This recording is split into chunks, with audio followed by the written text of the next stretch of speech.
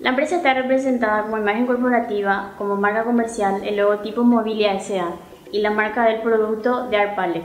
De proviene el origen de dos abreviaciones que son decoración y arte. Mobilia SA fabrica y comercializa muebles hechos de pales de madera.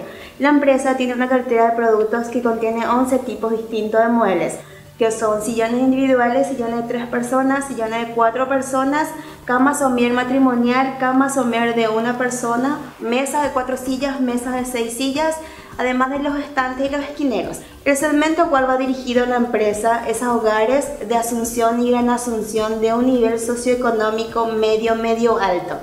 La ventaja competitiva que tiene Mobilia SA son los precios de venta en el mercado, que son más económicos en relación a los muebles tradicionales. Estos muebles, aparte de ser reciclados, son innovadores, decorativos, ornamentales, dándole un toque especial a los hogares.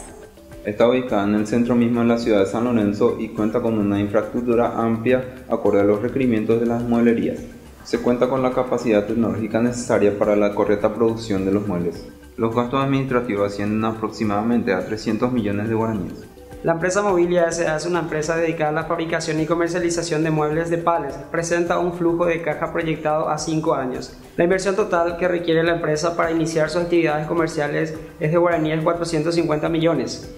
Las ventas para el primer año es de 1.100 millones de guaraníes, siendo que el costo de producción son de 600 millones de guaraníes, arrojando un margen de contribución del 40%. La inversión necesaria en activos es de 200 millones, entre activos fijos y nominales. Para aumentar y fortalecer su inversión, la empresa estima recurrir a un préstamo bancario al 24% anual. La tasa de corte que presenta el flujo proyectado a 5 años es del 16%, de donde resulta la tasa interna de retorno del 18%.